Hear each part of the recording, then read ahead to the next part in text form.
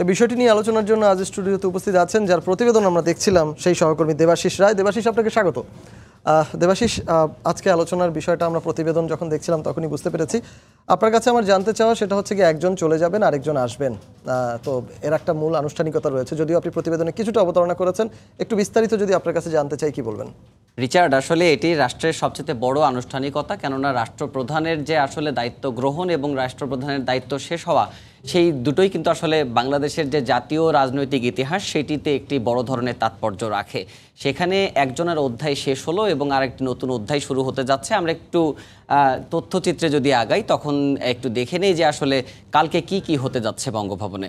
মূলত বঙ্গভবনে এখন যে প্রস্তুতিটি চলছে, সেটি কিন্তু বরণ এবং বিদায় দুটোই একসঙ্গে। অর্থাৎ যিনি বিদায়ী রাষ্ট্রপতি, একুশতম রাষ্ট্রপতি আব্দুল হামিদ, তার মেয়াদ শেষে তিনি দায়িত্ব ছাড়বেন এবং নতুন রাষ্ট্রপতি দায়িত্ব গ্রহণ করবেন। সেক্ষেত্রে কালকে প্রথমে অনুষ্ঠিত হবে বেলা এগারোটায় শপথ অনুষ্ঠান। এই শপথে বাংলাদেশের প্রধানমন্ত্রী, বাংলাদেশের প্রধান বিচারপতি সহ সবাই উপস্থিত থাকবেন, আপনারা জানেন। এবং শপথ নথি হস্তান্তর করা হবে, অর্থাৎ দুই রাষ্ট্রপতি।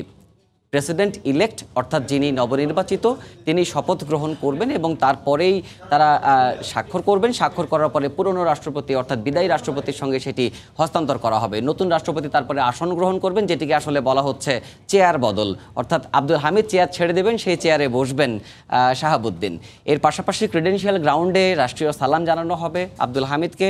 মূল ফটকে প্রেসিডেন্সিয়াল গার্ড রেজিমেন্টের সালাম থাকবে।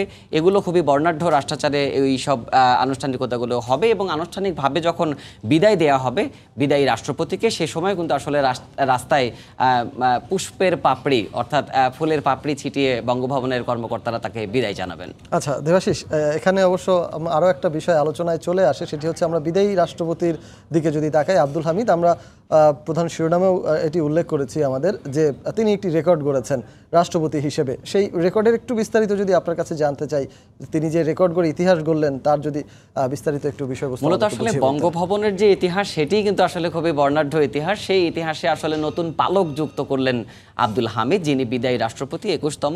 তিনি আহ, নানান কারণেই আসলে এই পদে এই পদকে অলঙ্কৃত করেছেন।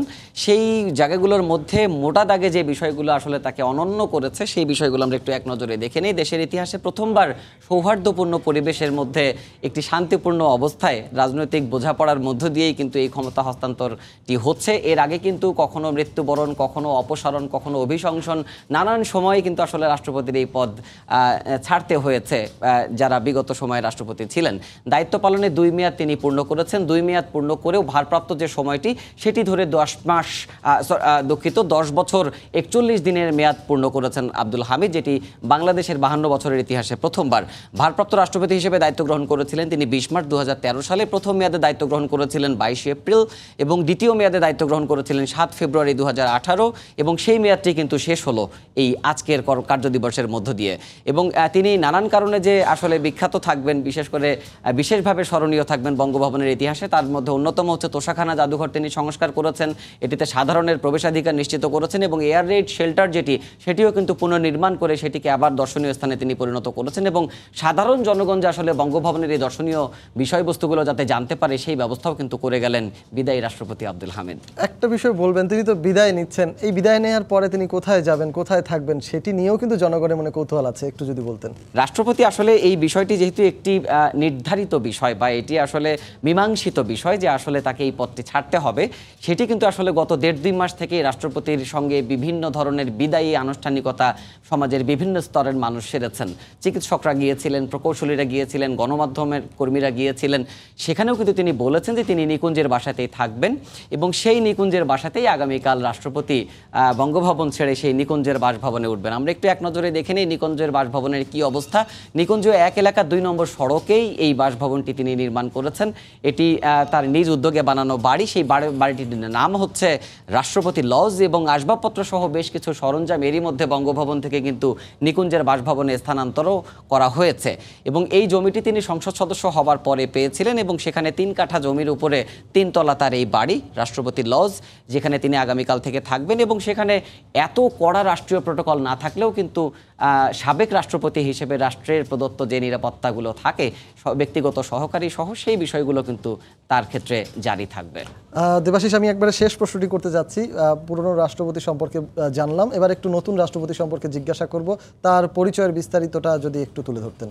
নতুন রাষ্ট্রপতি যিনি আসছেন, অর্থাৎ এই পদে নির্বাচিত হয়েছেন, আওয়ামী লীগ থেকে বিনা প্রতিদ্বন্দ্বিতায় তার যদি সংক্ষিপ্ত জীবনার যে ঘটনাগুলি, সেগুলো যদি দেখে নিই, মোটা দাগে নিশ্চয়ই এগুলো বিস্তারিত আমরা আগামীকালকে আবারও নিয়ে আসব। উনিশশো উনপঞ্চাশ সালে তিনি পাবনায় জন্মগ্রহণ করেন, উনিশশো একাত্তর সালে মুক্তিযুদ্ধে সক্রিয়ভাবে অংশগ্রহণ করেন, উনিশশো বিরাশি সালে বিসিএস ক্যাডারে তিনি বিচার ক্যাডারে যোগদান করেন এবং দু হাজার ছয় সালে জেলা এবং দায়রা জজ হিসেবে অবসর গ্রহণ করেন এবং এর পরবর্তীতে দু হাজার এগারো থেকে দু হাজার ষোলো মেয়াদে তিনি দুর্নীতি দমন কমিশনের যিনি অন্যতম একজন কমিশনার ছিলেন এবং এর পরপরই তিনি আওয়ামী লীগের যে কেন্দ্রীয় রাজনীতি, সেই রাজনীতিতে তিনি সক্রিয়ভাবেই অংশগ্রহণ করেছিলেন এবং সেখানেই সক্রিয় ছিলেন। কাল থেকে তার নতুন পরিচয় বাংলাদেশের বাইশতম রাষ্ট্রপতি। অসংখ্য ধন্যবাদ আপনাকে দেবাশিস। কিছু গুরুত্বপূর্ণ তথ্য আমাদের সামনে উপস্থাপন করলেন। গুরুত্বপূর্ণ নয়, সাথে এটি অবশ্য অনেকেই কৌতূহলের সাথে অপেক্ষা করছিল জন মানে সাধারণ মানুষ। সেটিও আপনি কিছুটা হলেও সেখানে অবশ্য পরিতৃপ্তি এনে দিয়েছেন। আবারও আপনাকে অসংখ্য ধন্যবাদ। আপনাকে ধন্যবাদ। বঙ্গভবনে আগামীকাল নতুন রাষ্ট্রপতি তার দায়িত্ব গ্রহণ করতে যাচ্ছেন এবং বিদায় নিচ্ছেন পুরনো রাষ্ট্রপতি একুশতম রাষ্ট্রপতি আব্দুল হামিদ। সে বিষয়ে আলোচনা করতে আজ স্টুডিওতে উপস্থিত ছিলেন সহকর্মী দেবাশিস রায়।